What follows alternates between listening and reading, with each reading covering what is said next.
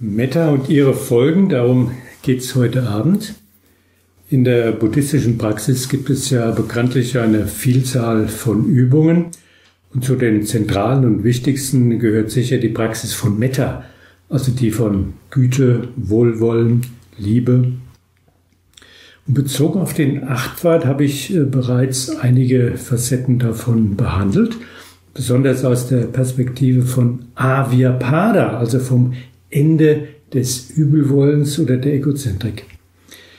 Heute möchte ich das Thema noch einmal vertiefen und ein paar Einzelaspekte von Meta erläutern und besonders die positiven Folgen einmal hervorheben.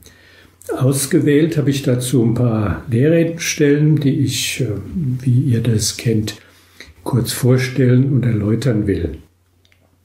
Ich fange an mit einem Text aus dem Itivutaka, Itivutaka 27. Hm, das ist überschrieben die Entfaltung der Liebe, Metta Bhavana Sutta. Was es auch an verdienstwirkenden Mitteln im Bereich der Bezüge gibt, sie alle haben nicht den Wert eines Sechzehntels der gemüterlösenden Liebe. Die gemüterlösende Liebe begreift sie in sich und leuchtet und flammt und strahlt. Hier ist von Punya die Rede, von verdienstvollem Tun. Und das meint eigentlich jedes förderliche, jedes wohlmehrende Handeln. Alles das wird verglichen in seinem Wert mit Metta. Und dabei hat Metta, wie wir hören, einen sehr, sehr hohen Rang. Und alles in seiner Bedeutung, alles andere in seiner Bedeutung ist da nur ein Bruchteil davon. Tatsächlich ist Metta eine umfassende und viele gute Eigenschaften versammelte Haltung. Wie etwa die von Großzügigkeit, Rücksicht, Freundlichkeit, Achtung, Wertschätzung und so weiter und so weiter. Metta wurde hier als gemüterlösend bezeichnet. Also es war von Ceto Vimutti die Rede. Und tatsächlich ist ja Gemüt unsere aktuelle innere Verfassung, unser jeweiliges Gestimmtsein, das Zumute sein. Man sagt, wie man so im Moment drauf ist, wie man sich fühlt. Das ist das Gemüt. Und ein im Herzen verankertes Wohlwollen hat tatsächlich einen befreienden Einfluss auf unsere Befindlichkeit. Sie nimmt innere Spannungen, Verklemmungen, Verkrampfungen. Wo Metta anwesend ist, ist Vyapada abwesend. Wo Wohlwollen präsent ist, kann es keine Aversion, Aggression, üble Laune, böse Gedanken und so weiter geben. Ich muss allerdings hier eine wichtige relativierende Aussage nochmal betonen. Wir dürfen das im Text nicht überlesen. Denn da war ja die Rede von verdienstvollen Mitteln im Bereich der Bezüge. Seidenstücker sagt hier im Wandel sein. Das heißt, es ist gemeint die Bedeutung von Metta in der Welt der Bedingtheit. Und das heißt zugleich, dass Metta einen bestimmten Bereich zugeordnet ist. Metta spielt innerweltlich, innersamsarisch eine Rolle Sie hat eine wichtige, aber wie wir später noch sehen werden, eingeschränkte Wirkung. Sie ist, wenn man so will, noch nicht die letztendliche Antwort auf die existenziellen, die tiefsten existenziellen Fragen und Probleme. Sie hat nämlich noch feinste Bezüge zu Gewordenem, zu Bedingtem, zu Unvollkommenem insgesamt. Und eine kleine weitere Relativierung sei noch hinzugefügt. Metta ist ja die Grundlage der brahmischen Existenz. Aber dort ist sie eben nur in Anführungsstrichen die erste, die unterste der vier Brahma-Viharas.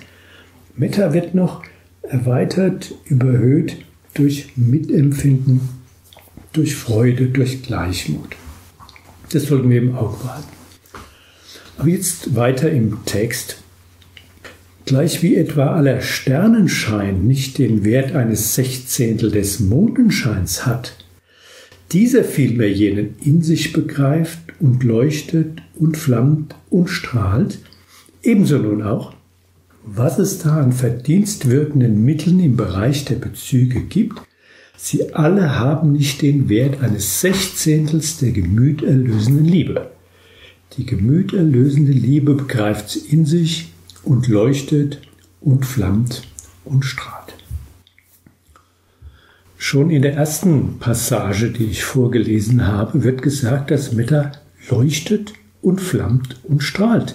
Das heißt, Liebe, Wohlwollen wird hier mit Licht in Verbindung gebracht und ganz konkret wird hier der Vergleich gezogen mit dem Schein der Sterne und des Mondes. Alle Sterne zusammen, heißt es, haben weniger Lichtfülle als ein Sechzehntel des Mondlichtes. Da fragt man sich sicher, warum gerade ein Sechzehntel? Wie kommt man darauf? Nun, der Hintergrund ist das wechselnde Zunehmen und Abnehmen des Mondes. Und hier ist von der Phase gesprochen, wo nach dem Neumond, am ersten Tag, unmittelbar nach dem Neumond, der Mond sein allererstes, sein schwächstes Licht zeigt. Also schon die kleinste Sichel des Mondes hat mehr Leuchtkraft als alle Sterne zusammen. Und so ist es auch mit Meta. Meta heißt die Welt wird hell. Freundlichkeit lässt die Herzen, lässt die Gesichter, lässt die Welt erstrahlen. Aber dieser Vergleich mit Licht ist nicht von ungefähr und er ist auch gar nicht eine bloße Metapher, sondern er hat einen durchaus realen Gehalt. Denn alle Götterbereiche sind ja hellere Bereiche als die menschlichen und die untermenschlichen. Die Brahma-Welt, die Welt der Metastrahlung, ist ja nichts anderes als die reine Lichtwelt. Licht gilt ja als die feinste und subtilste Formerscheinung von Materie. Brahmas sind Lichtwesen. Sie haben ein sehr stark vergeistigtes Dasein und sie erscheinen als Licht. Und in unserem Text sind noch zwei weitere Vergleiche angebracht. Gleich wie etwa im letzten Monat der Regenzeit im Herbst, die Sonne am reinen, wolkengeklärten Himmel emporsteigend, alles Dunkel des Raumes verscheucht und leuchtet und flammt und strahlt, ebenso nun auch, was es da an verdienstwirkenden Mitteln im Bereich der Bezüge gibt, sie alle haben nicht den Wert eines Sechzehntels der gemüterlösenden Liebe. Die gemüterlösende Liebe begreift sie in sich und leuchtet und flammt und strahlt. Hier haben wir also nochmal eine Steigerung. Jetzt geht es um das Strahlen der Sonne. Wir haben da mit der Sonne natürlich eine ganz andere Dimension vor uns. Sie ist nicht nur wie beim Mond reflektiertes Licht, sondern sie ist ein direktes Licht mit noch viel größerer Wirkung. Sie vertreibt Regen und Wolken, alle Trübungen des Himmels, wenn man so will, Sie löst Kälte und Finsternis auf. Und genauso verhält es sich mit Metta. Metta vertreibt die Trübungen des Herzens. Ein verdüstertes Gemüt verschwindet, wenn Wohlwollen aufsteigt. Metta steht für wohlwollende zwischenmenschliche Wärme und Klarheit im Umgang miteinander. Gleich wie etwa nachts zur frühen Dämmerung der Morgenstern leuchtet und flammt und strahlt, Ebenso nun auch, was es an verdienstwirkenden Mitteln im Bereich der Bezüge gibt, sie alle haben nicht den Wert eines Sechzehntels der gemüterlösenden Liebe. Die gemüterlösende Liebe begreift es in sich und leuchtet und flammt und strahlt. Hier wird noch ein zusätzlicher Aspekt aufgegriffen. Das Stichwort ist der Morgenstern, der an sich auch eine besondere Leuchtkraft hat, er ist ja das hellste Gestirn kurz vor Sonnenaufgang und von daher war es immer schon ein auffälliges und beliebtes und auch besungenes Phänomen. Aber hier geht es nicht allein um seine Leuchtkraft, nicht um das Leuchten des Gestirns an sich, sondern es geht hier um seine Schönheit. Und wenn wir uns den Buddha anhören, dann hören wir immer wieder, dass er als das wahre Schöne die brahmische Existenz benennt. Brahmisches Dasein ist wahre Schönheit. Die eigentliche Schönheit ist die, die Reinheit des Herzens. Auf innere Schönheit bauen heißt, ja, die Lauterkeit der Samadhi-Zustände ins Auge fassen. Das vielleicht als kleiner Auftakt, dass wir den Zusammenhang sehen zwischen der Leuchtkraft von Metta. Und jetzt gehe ich zu dem Thema über der elffache Segen der Güte. Das ist ein Text aus dem Anguttara Nikaya, elfer Buch, die 16. Lehre. Das heißt auch Metta Sutta. Hat man die Güte, die Gemüterlösende, gepflegt, entfaltet, häufig geübt, sie zur Triebfeder und Grundlage gemacht, sie gefestigt, großgezogen und zur rechten Vollendung gebracht, so hat man elf Vorteile zu erwarten. Welche elf? Man schläft friedlich, man erwacht friedlich, hat keine bösen Träume, ist den Menschen lieb, ist den übermenschlichen Wesen lieb, die Gottheiten schützen einen. Feuer, Gift und Wasser können einem nicht schaden. Schnell sammelt sich der Geist, der Gesichtsausdruck ist heiter, man hat einen unverstörten Tod. Und sollte man nicht noch zu höherem vordringen, so wird man in der Brahma-Welt wiedergeboren. Ich finde, das ist ein ansehnlicher Katalog von sehr erfreulichen Folgen von Meta und da lohnt sich sicher mal ein genauer Blick. Natürlich sind die Mitmenschen, die Mitwesen generell Profiteure von gezeigter und praktizierter Meta. Denn deren Leben wird dadurch unbelasteter, angenehmer, freudvoller, harmonischer. Aber zugleich ist auch die karmische Rückwirkung auf den Praktizierenden selbst zu beachten. Denn ein wohlwollender, gütiger und freundlicher Mensch wird selbst Nutznießer davon sein. Und hier in unserer Lehrrede der A1116 werden nun verschiedene wohltuende Auswirkungen aufgezählt. Insgesamt sind es elf von sehr unterschiedlicher Bedeutung. Manche sind eher vordergründig und naheliegend, aber es gibt auch solche mit bedeutender und besonderer Fern- und Tiefenwirkung. Schauen wir uns das mal an. Man schläft friedlich, man erwacht friedlich, man hat keine bösen Träume. Ich habe vorhin schon über die gemüterlösende Eigenschaft von Metta gesprochen. Und Metta ist ja gerade eine innere Verfassung ohne Druck, ohne seelische Enge. Metta ist eine Gesinnung der Streitlosigkeit. Da ist keine Abwehr, kein Widerstreben, keine Gegenwendung. Metta hat ausgleichende, harmonische oder harmonisierende, befriedende Wirkung. Ein Metta-Herz ist besänftigt, es ist beruhigt, es ist gesammelt, es ist geeint, es ist gestillt. Und da kann man sich leicht vorstellen, dass aus der tiefen Dimension einer solchen Psyche auch entsprechende Wirkungen ausgehen auf die bewusste akute Ebene des Erlebens. Das konkrete Erleben wird unbeschwerter, es wird leichter, es wird freier. Und das betrifft neben dem Wachbewusstsein, wie wir hier hören, auch die Schlafphase. Man schläft leicht ein. Warum? Nun, man ist unbeeinträchtigt von eventuellen Gewissensbissen. Man hat keine Skrupel gegenüber unsauberen Handlungen, die man vielleicht begangen hätte. Da gibt es keine Sorgen hinsichtlich unbequemer Folgen aus seinem Tun und Lassen. Tadel, Kritik, Verfolgung, Bestrafung werden nicht erwartet. Und deshalb wird man auch von schlimmen Träumen nicht behelligt. Denn ein befriedetes Herz kann nicht der Verursacher von bedrängenden und beängstigenden Erlebnisbildern sein. Dem entspricht auch ein sorgenfreies Erwachen, weil man nicht an die bedrückenden Gedanken von gestern anknüpfen muss. Da ist kein Streit, da ist keine Auseinandersetzung für den kommenden Tag zu befürchten.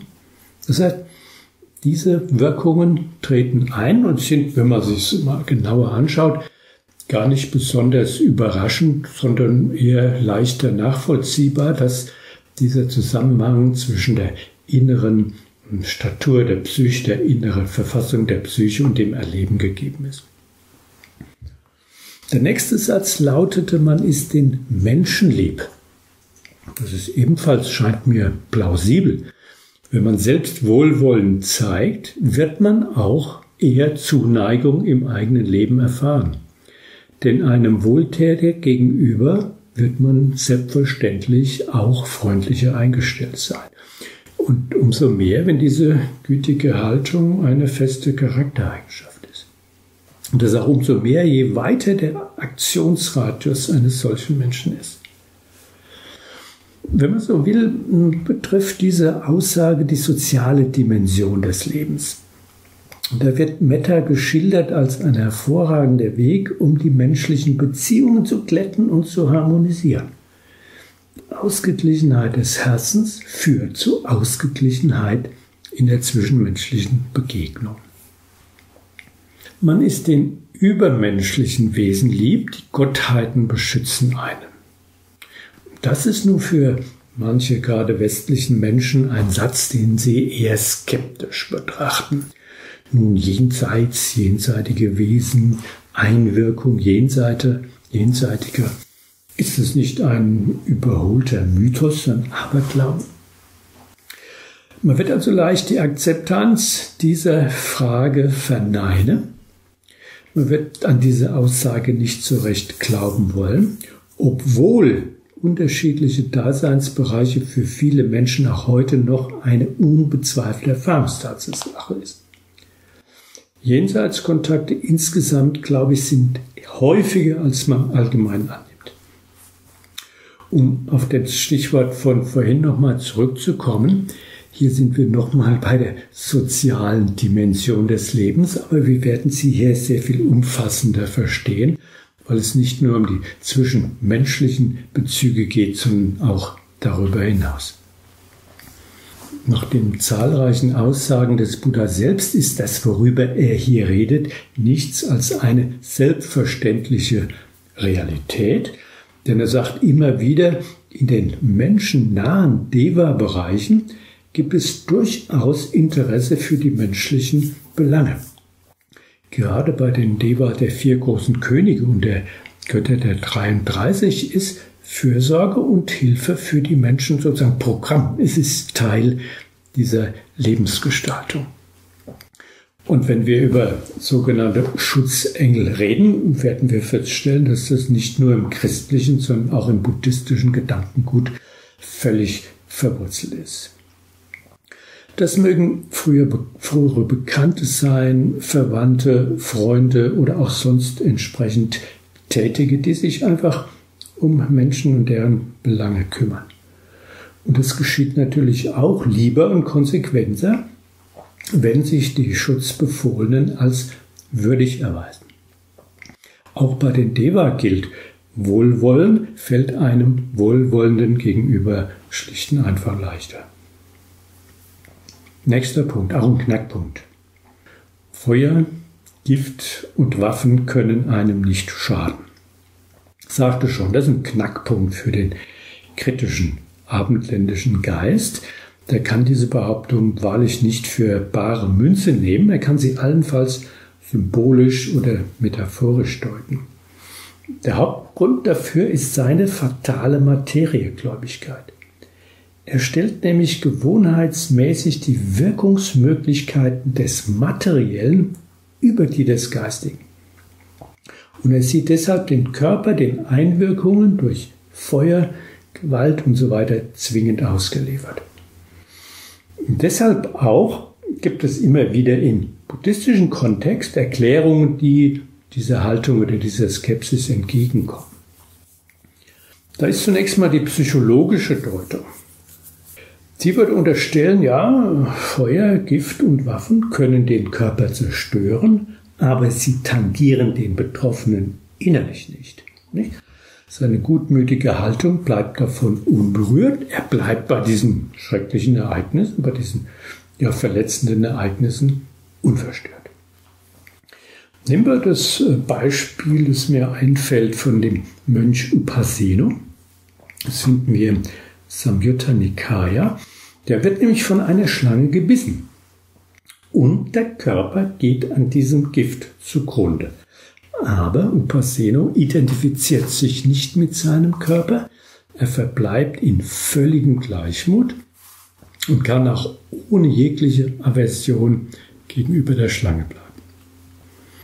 Die zweite Variante wäre sowas wie eine karmische Deutung. Sie besagt, dass sich Metawesen einfach durch ihre Herzensart eine Zukunft schaffen ohne derartige Bedrohungen. Nicht mit anderen Worten. Metawesen haben anders gesehen auch aus früherem Wirken heraus jetzt sich eine gefahrlose Gegenwart geschaffen. Und da fiel mir ein der freundliche und friedliche Einander. Der war durch seine Art bei allen beliebt. Er hatte zeitlebens keine Anfeindungen zu erleben, keine Bösartigkeiten, keine Angriffe auf ihn. Bei ihm ging sozusagen in seinem ganzen Leben alles klatsch. Ich sage bewusst, dass beide Deutungen nicht falsch sind, aber sie lassen einen wichtigen Gesichtspunkt außer Acht. Sie verzichten nämlich darauf, dass es auch ein wörtlicheres Verständnis gibt, das ebenso legitim und richtig ist. Denn Metta ist ein tatsächlich hochwirksames Potenzial. Metta ist eine hochwirksame psychische Kraft mit geradezu außerordentlichen Möglichkeiten. Dazu will ich ein paar Beispiele nennen. Ich möchte hier ein bisschen weiter ausholen, weil wir gerade da ein größeres ja, Verständnis, äh, größere Schwierigkeiten am Verständnis haben. Ich spreche nochmal über einen Mönch, der in Savati lebt und dort auch von einem Schlangenbiss ja, gestorben ist. Seine Mitbrüder gehen zu dem Erwachten berichten den ganzen Vorfall und fragen nach, um was es da eigentlich gegangen ist. Und der Buddha gibt folgende Antwort. Sicherlich hat jener Mönch die vier Königsfamilien, die Königsfamilien der Schlangen, nicht mit gütigem Geiste durchstrahlt. Hätte nämlich jener Mönch die vier Königsfamilien der Schlangen mit gütigem Geist durchstrahlt, so wäre wahrlich jener Mönch nicht von einer Schlange gebissen worden und gestorben. Nun, Schlangen sind ja in Indien so etwas wie alltägliche Begleiter der Menschen.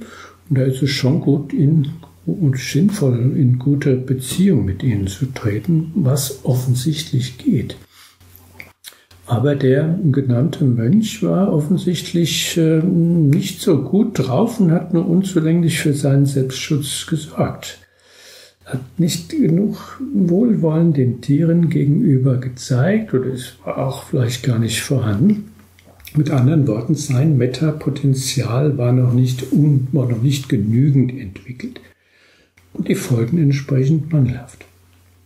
Die Tiere haben ihm gegenüber auch entsprechend distanziert gehalten und äh, empfunden.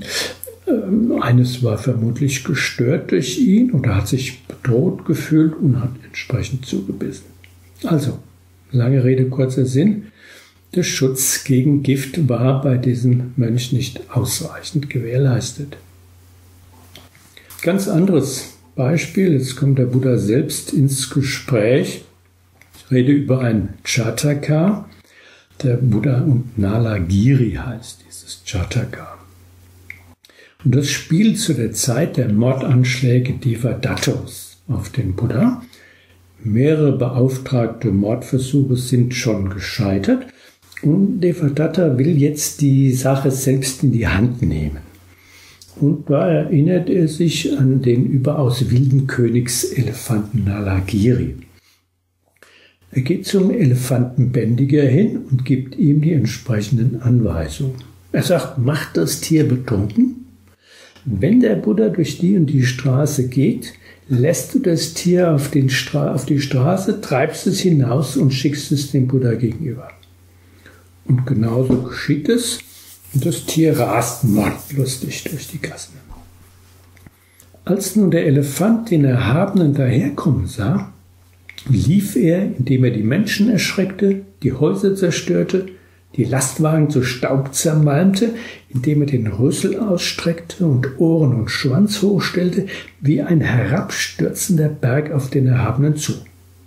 Als ihn die Mönche sahen, sprachen sie zu ihm, Herr, Dieser Nalagiri, der wilde, grausame Menschentöter, ist in diese Straße gekommen. Zurückgehen, Herr, möge der Erhabene. Zurückgehen, möge der Heilige. Doch der Meister antwortete, Fürchtet euch nicht, ihr Mönche. Ich bin stark genug, den Nalagiri zu bändigen. Und genau das geschieht mit der besonderen Metakraft eines Buddha. Es gelingt ihm, das Tier durch Liebe, Strahlung völlig zu beruhigen. Er spricht besänftigt auf den Elefanten an und es ist leicht nachvollziehbar, wie groß und wie stark diese Kraft gewesen sein muss. Aber ich denke, im Klein-Klein unseres Alltags ist dieser Vorgang von Metta-Wirkung durchaus bekannt. Eine liebevolle Mutter kann ja einen lindernden Einfluss auf ärgerliche oder traurige Kinder haben. Und beruhigende Worte, das weiß man ja aus eigener Erfahrung, dämpfen oft den Zorn eines aufgebrachten Menschen. Ich will diese Spur aber noch weiter verfolgen und will zeigen, wie weit der Schutz vor Gefahren durch Meta reichen kann. Das Stichwort, das wir eben hatten, war ja Feuer, Gift und Waffen sind ohne Macht. Und ich will dafür, bevor wir weitergehen, nochmal den vorhin übergangenen Text oder die Textpassage näher beleuchten, über die wir vorhin so schnell hinweggegangen sind. Das ist für unser Verständnis auch des noch Folgenden nötig. Da hieß es, hat man die Güte, die Gemüterlösende, gepflegt, entfaltet, häufig geübt, sie zur Triebfeder und Grundlage gemacht, sie gefestigt, großgezogen und zur rechten Vollendung gebracht. Punkt, Punkt, Punkt. Dann treten die Folgen ein, von denen ich eben sprach. Hier wird also die erforderliche besondere Qualität von Meta geradezu, möchte man sagen, eingehämmert. Da geht es eben nicht nur darum, dass man einmal ein paar liebevolle Gedanken hat oder hier und da mal ein freundliches Wort sagt. Alles nicht schlecht, aber reicht nicht aus. Denn der Buddha sagt hier mit acht unterschiedlichen Worten, mit acht unterschiedlichen Ausdrücken, dass es notwendig ist, zu einer tiefen Verankerung von Metta zu kommen. Es geht um ein intensives Hineinfinden in Metta, ein dauerhaftes, nachhaltiges sich eingewöhnen in diese Haltung ist erfordert. Das Herz muss, wenn man so will, von Wohlwollen völlig durchdrungen sein. Es muss ein Metta-Chitta, ein Metta-Herz werden. Anders formuliert, unsere Psyche muss völlig umgebildet werden. Sie muss gewissermaßen auf ein Samadhi-Niveau gehoben werden. Denn die Metastrahlungen, um die geht es ja im Kern, die Metastrahlungen sind ja ein Samadhi-Zustand, der der ersten Vertiefung, dem ersten Jhana entspricht. Und wenn das eintritt, wenn das vorhanden ist, hat man damit zugleich die Erlebnisebene der Sinnenwelt ja, verlassen. Man ist ihr geradezu entrückt. Die Brahma Vihara haben mit der Karma-Welt nichts mehr zu tun. Die Sinnen, Dinge können einen dann auch nichts mehr anhaben. Sie sind unwirksam. Man kann sagen, für den Betreffenden geradezu wenig da. Und das möchte ich am Beispiel der Lebensgeschichte von Königin Samavati verdeutlichen. Sie war eine Zeitgenossin des Buddha und man kann sagen, sie war ein wahres Metta-Wesen. Sie lebte als Kind in einem Dorf im Lande Wamsum, zunächst in ganz einfachen Verhältnissen. Aber eine Pestepidemie treibt sie mit ihren Eltern in die Hauptstadt Kusambi. Und dort sterben ihre Eltern ganz schnell an dieser Krankheit. Und Samavati, die Kleine, fällt dem amtlichen Speiseverteiler auf. Nicht? Die Gemeinde hat da einen Speiseverteiler bestellt, der sich um die Flüchtlinge kümmern soll. Und dem fällt nun das Mädchen auf. Sie hilft ihm zunächst ein bisschen bei seiner Aufgabe. Und äh, dieser ja, Beamte ist von ihrem guten Wesen beeindruckt und nimmt sie sogar als Pflegetochter auf. Und mit der Zeit wird das Mädchen bekannt, sodass irgendwann der Finanzminister Gosita kommt und sagt, nee, die will ich als meine Pflegetochter. Und schließlich, wie es an sich nur in Romanen vorkommt, steigt sie auf bis ins Königshaus und wird schließlich zur dritten Hauptfrau und zugleich zur Lieblingsfrau von König Udeno. Aber diese erstaunliche, in Anführungsstrichen, Karriere verändert ihren Charakter und ihr Verhalten überhaupt nicht. Sie bleibt nach wie vor bescheiden, freundlich, wohlwollend und dann schließlich den Dammer kennen, was sie in ihrer Haltung und ihrer Lebensführung nur noch bestärkt und schafft, wie es heißt, am Ende sogar die Nichtwiederkehr. Und gerade Metta ist ein überaus fester Wesenszug von ihr, der ihr über manche gefährlichen Konflikte und Krisen hinweg hilft. Ich will zwei herausragende Ereignisse mal kurz vorstellen und das demonstrieren, welche Art oder welches Wesen und welche Wirkung Metta haben kann. Eine der Nebenfrauen von Samavati, die übrigens alles Buddhistische hasst, will ihr verderben. Und sie hetzt immer wieder den Mann gegen sie auf, zunächst ohne Erfolg, aber irgendwann klappt das, denn sie versteckt eine Giftschlange in dem gemeinsamen Gemach, und als König da Udeno da mal auftaucht, sieht er die Schlange, fühlt sich verraten und bedroht. Und er, der sehr nahe beim Jezon wohnt, äh, schießt in seiner Wut einen Pfeil auf die Frau ab, der aber an ihr nur abprallt. Sprich, die Kraft ihrer gesammelten Psyche, ihrer Metapsyche, ist stärker als die Kraft der Pfeilspitze aus Metall. Udeno erkennt sofort die Unschuld seiner Frau, wobei die Urheberin der Intrige noch unentdeckt bleibt. Einige Zeit später plant dieselbe Frau erneut einen Mordanschlag auf Samavati, soll aber das Ganze als Unglück erscheinen. Und diese Frau lässt in der Nacht von Helfershelfern den gesamten Frauentrakt des Königspalastes anzünden Samavati kommt im Schlaf um und mit ihr alle anderen Frauen des Harems. Diese Lebensgeschichte, die ich nur kurz skizzieren kann, ist für unseren Zusammenhang sehr aufschlussreich.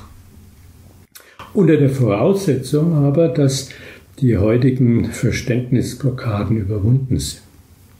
Man darf hier nicht von einer allein materialistischen und materiellen Ursächlichkeit ausgehen, man muss von dem materialistischen Verständnis der Realität wirklich abrücken.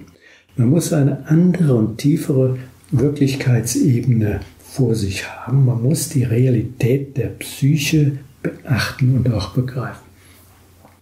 Alle diese Vorgänge, um die es jetzt geht oder überhaupt geht, sind ja nur, was heißt nur, sie sind Inhalte des Erlebens. Sie haben keine Realität im materiellen Sinne, sondern die geschilderten Ereignisse, alle geschilderten Ereignisse sind Gestaltungen des Herzens. Kommen wir zu dem Unverletztbleiben durch den abgeschossenen Pfeil. Ja, was ist passiert? Im Zustand voller Metastrahlung ist eine gewaltsame Aus Einwirkung von außen unmöglich. Nicht? Der eigene Körper ist jetzt in einem Samadhi-Zustand, er ist transformiert in einen Samadhi-Zustand. Er ist noch ja, in der Welt, aber nicht mehr von der Welt, um ein christliches Wort hier mal zu gebrauchen. Das materielle, materielle Körper ist gegenwärtig weitgehend vergeistigt. Ganz anders aber ist es bei dem Brandanschlag, bei dem Samavati umkommt. Das scheint ein scheinbarer Widerspruch zu sein, aber ist doch erklärbar. Denn im Schlaf war diese Frau in einem anderen inneren Modus, eben nicht in der Metastrahlung wie vorher, und daher war ihr Körper ungeschützt und verletzbar, er war den Gesetzen der Sinneswelt unterworfen. Wahrscheinlich oder ganz sicher war da noch eine alte karmische Rechnung offen, die jetzt präsentiert worden ist. Aber sie als Nichtwiederkehrerin blieb natürlich völlig unberührt von diesem Vorgang. Ihr physischer Körper im Karma Loka in der Sinnenwelt, der wurde vernichtet, ja, aber ihr reines, ihr brahmisches Herz blieb völlig unversehrt. Und es ist ganz sicher, dass sie als Nicht-Wiederkehrerin im Formbereich wieder erschienen ist, also im Bereich der brahmischen Form, um dort ganz zur Freiheit zu gelangen.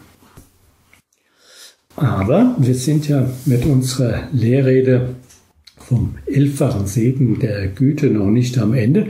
Es bleiben noch ein paar, genau gesagt, äh, vier Folgen von Metta übrig, die ich nicht unter den Tisch fallen lassen möchte. Der nächste Punkt. Schnell sammelt sich der Geist. Im Übrigen heißt es im Pali-Text nicht Geist, Mano, sondern wie wir das uns vorstellen können, Chitta, Psyche, das Seelische ist hier gemeint.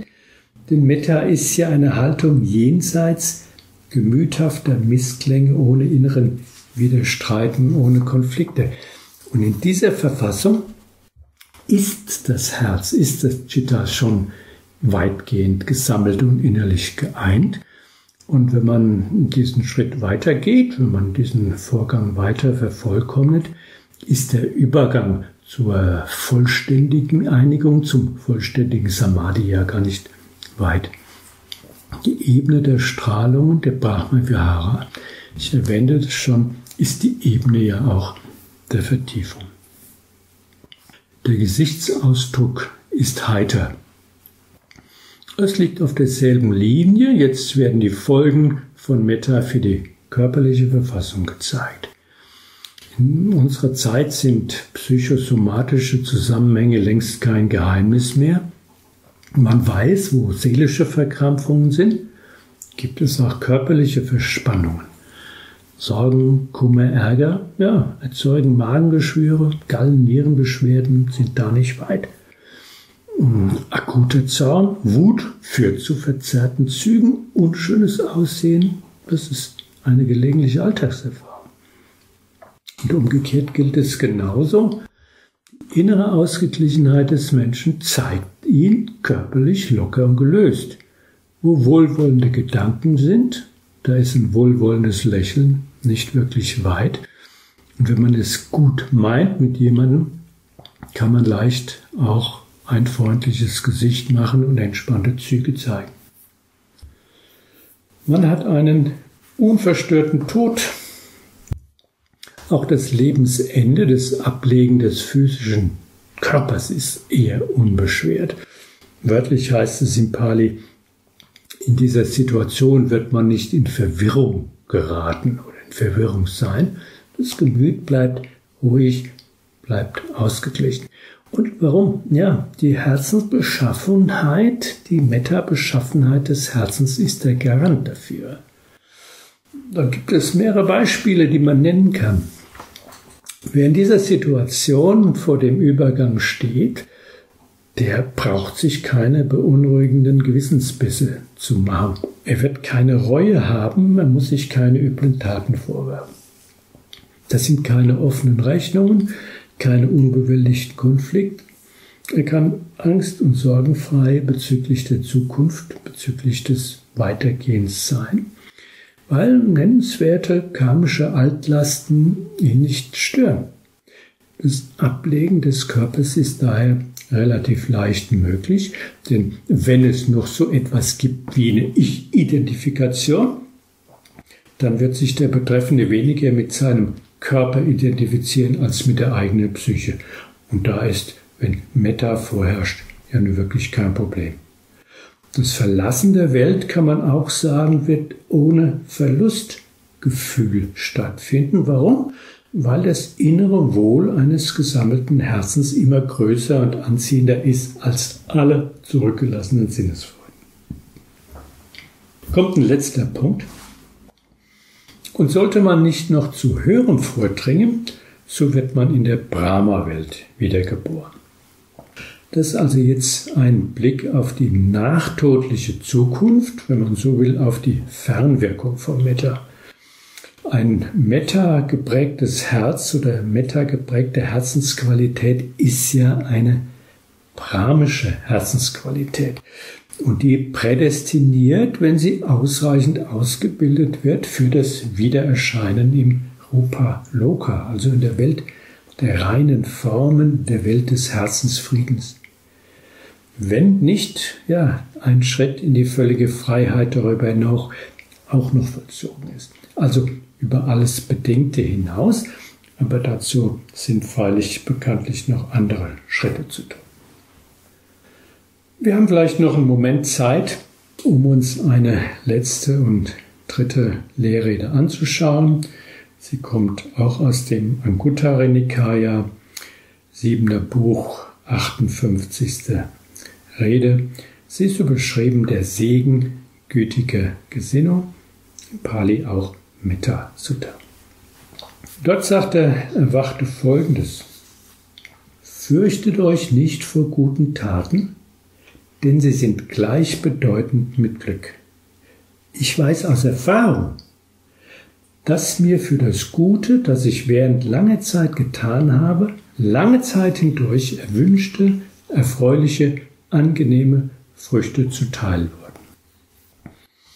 Es ist ja ein generelles Leitbild der buddhistischen Praxis, dass man die karmischen Zusammenhänge kennt und auch beachtet. Angemessenes Tun und Lassen hat erfreuliche Folgen. Das gilt für den Empfänger wie für den Handelnden selbst. Eine intensive Betätigung hat entsprechend weitreichende Ergebnisse. Feste Gewohnheiten bei heilsamen Verhaltensweisen haben entsprechend nachhaltige gute Folgen. Und wie gezeigt oder wie zu zeigen, ist diese Aussage natürlich ebenfalls für Meta gültig. Und hier werden ja gerade langfristig, also kosmische Entwicklungsperioden ins Auge gefasst. Der Buddha berichtet, oder ich muss sagen, der Bodhisattva, also der werdende Buddha, berichtet in dieser Lehrrede über sich selbst. Sieben Jahre lang übte ich gütige Gesinnung. Nachdem ich sieben Jahre lang gütige Gesinnung geübt hatte, kehrte ich für die Zeit von sieben Weltuntergängen und Weltentstehungen nicht mehr zu dieser Welt zurück. Ich äh, betone nochmal, dass diese Aussagen wie immer erfahrungsbezogene Aussagen sind und nicht spekulativer Natur. Der Erwachte sagt ja immer wieder, was ich euch mitteile, das weiß ich, weil ich es erfahren habe. Und hier sagt er, ich übte gütige Gesinnung man müsste nach dem Pali-Wort äh, besser sagen, ich bildete oder entfaltete das Herz in Metta aus. Also das ist mehr, wie gesagt, als nur Metta-Gedanken haben, sondern es meint ja die eigene Psyche entsprechend umbilden. Erinnern wir uns nochmal dran. Die Psyche ist die Quelle der Ich- und Welterscheinungen. Alles Erleben erfolgt nach den Qualitäten der Psyche.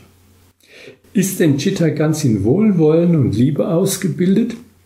Hat man, wie vorhin geschildert, brahmische Herzensqualität erworben und brahmische Qualitäten lassen in der Welt der reinen Form wieder erscheinen. Also das ist der Daseinsbereich jenseits bloßer Sinnesfreuden, das ist der Bereich des inneren Wohls. Und hier hören wir von dem Bodhisattva, dass er selbst diese Übung sieben Jahre auf sich genommen hat und man kann sich vorstellen, dass das seiner Persönlichkeit gemäß äußerst konsequent und gründlich gewesen sein muss. Deshalb sind auch die karmischen Folgen entsprechend weitreichend, nämlich dass sieben Weltperioden er nicht mehr im Sinnenbereich, also nicht mehr im Karma-Loka wiedergeboren ist. Man könnte auch sagen, dass Metta eine wichtige transzendierende Eigenschaft hat, Meta ragt über die Sinnenwelt hinaus und führt über die Sinnenwelt hinaus. Sie zeitigt also ganz andere zeitlich-räumliche Erlebensdimensionen. Und das konkretisiert er jetzt nochmal.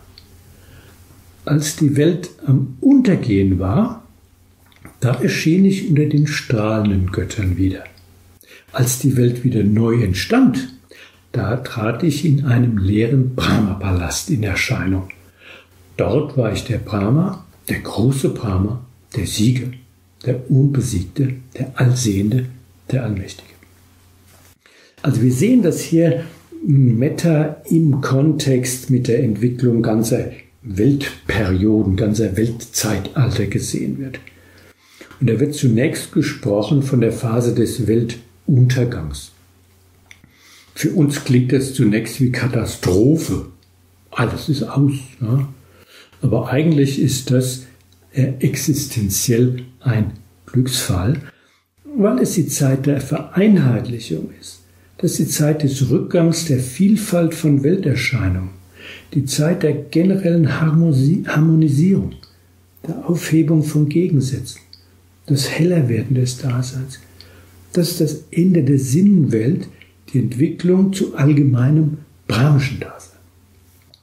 Und von dem Bodhisattva heißt es, dass jetzt er einer der Leuchtenden genannt wird. Das ist eine bestimmte Kategorie von Brahmas auf der zweiten Daseinsebene im brahmischen Bereich. Und das ist zu dieser Entwicklungszeit des Kosmos insgesamt, wenn man so will, die unterste Möglichkeit, wie ein Wesen überhaupt erscheinen kann. Sie ist bestimmt von Metta und Karuna als den tragenden Herzensverfassung. Darauf beginnt die Phase der Weltneuentstehung. Das klingt wiederum in unseren Ohren, endlich geht's wieder aufwärts. Aber eigentlich ist das die Zeit des schrittweisen Niedergangs. Warum? Weil jetzt die Welterscheinung sich wieder vervielfältigt. Welt breitet sich wieder aus. Welt differenziert sich wieder aus. Die verschiedenen Daseinsebenen, einschließlich der Sinnenwelt, tauchen wieder auf.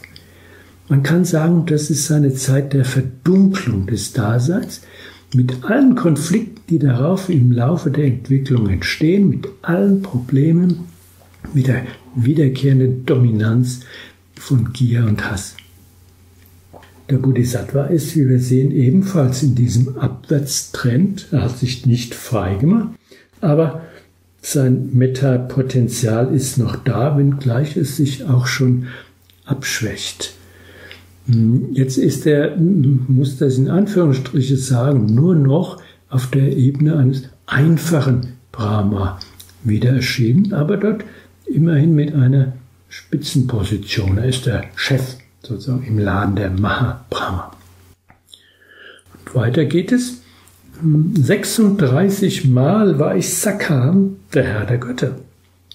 Einige hundert Male war ich ein Weltherrscher, ein gerechter Gesetzeskönig, Beherrscher der vier Weltteile, meinem Reiche Sicherheit gebend.